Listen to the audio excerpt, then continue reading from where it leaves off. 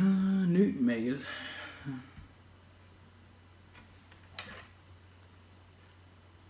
Hej Mike. Jeg er journalist og casebotter på TV2 Eko, og jeg leder lige nu efter nogen, som har mod på at tale lidt om røve. Som udgangspunkt taler man mest om sin egen, er den pæn, grim, slap, trænet eller hvad? Og må man overhovedet sige sådan noget, når man er mand? Vi vender selvfølgelig også det modsatte køn. Vi vil gerne lave en god omgang omklædningsrumsstemning, så tanken er, at man sidder i bare overkrop med et håndklæde rundt om sig. Kunne du have lyst til at høre mere, så send mig endelig dit telefonnummer, så ringer jeg til dig. Med venlig hilsen, Cecilia fra TV2 Eko.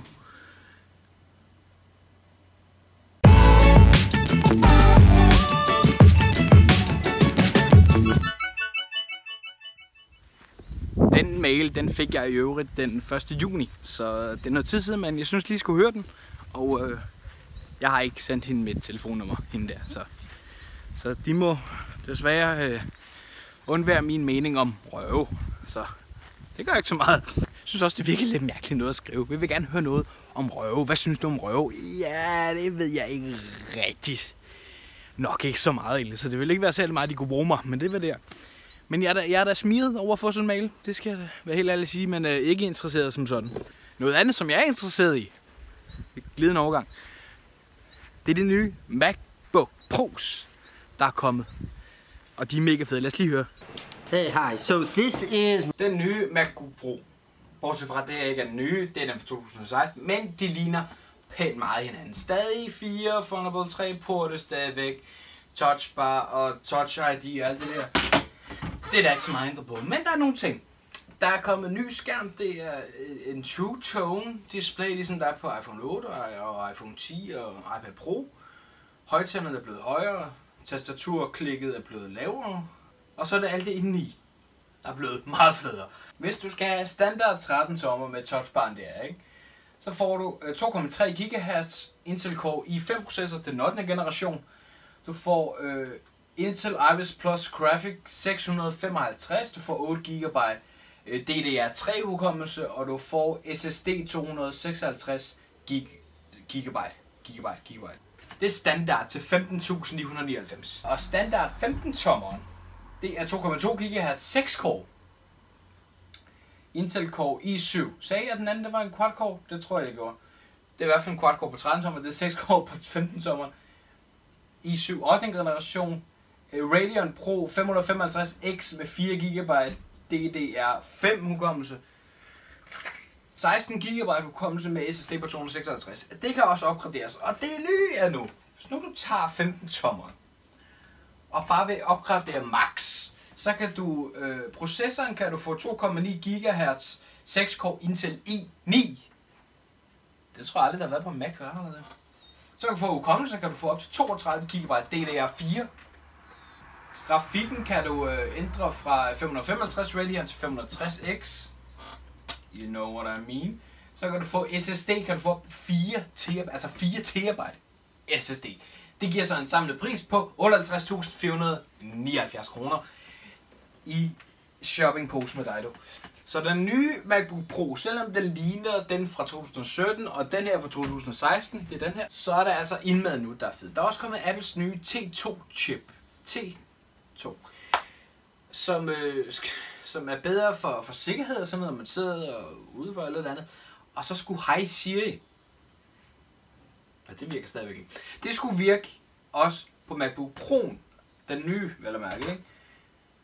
Så hvis man har lyst til en ny, vild MacBook Pro, så er det nu. Og 58.000 for den, den dyreste. Det er uden Apple Care, eller mærket og forsikringer. Så.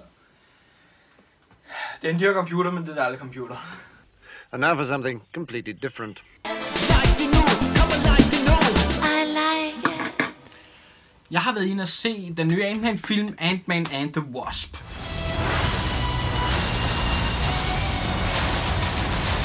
Det er efterfølgeren til Ant-Man, øh, bare for, for, for MCU-viden, så skal den foregå efter Civil War, Captain America Civil War, men før Avengers Infinity War.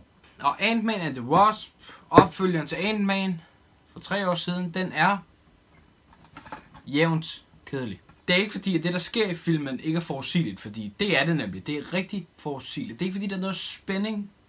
Der er selvfølgelig de klassiske Marvel-scener, hvad man skal kalde dem, som er der. Stan Lee's cameo, den er øh, mere end bare irriterende. Og plottet, den er lavet, det virker som om, den er lavet for at lave en tor og for at udfylde tomrummet efter Infinity War, når vi bare går og venter på en øh, Avengers 4, eller hvad den kommer til at hedde. Sådan håber jeg Captain Marvel bliver, som kommer til marts. Men Ant-Man and the Wasp, kan man ikke lave en skrå, for den er ikke helt nede, men den er heller ikke i midten. Den er sådan dernede.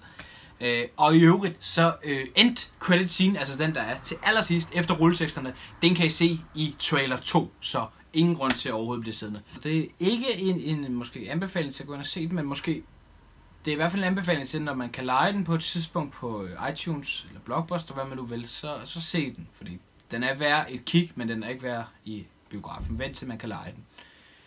Øh, en anbefaling, der godt kan få en tommel op, det er øh, Olsenbanden udstilling inde på Nordisk Film. Der kan man tage ind og se noget. Det her, det er bare sådan et katalog, man kan købe. Og så kan du også købe merchandise til alt for mange penge. Den er tommel op. Det var sådan set det for i dag. Jeg sidder, nu sidder jeg lige lidt hernede for at få min... Det, det er sådan noget, når man har briller, så kommer der sådan en fin streg. Sådan, det ser rigtig grimt ud. Så den må gerne lige blive dækket lidt til. Jeg sidder nede på det tørre græs, og jeg er sikker på, at hvis jeg laver en pludselig bevægelse, så antænder det med det samme. Jeg er ret bange for det egentlig. Men øh, før vi slutter helt af, så skal vi lige have et citat. En hvilken som helst idiot kan støde ind i en krise. Det er det daglige liv, der udmatter en. Tænk anderledes.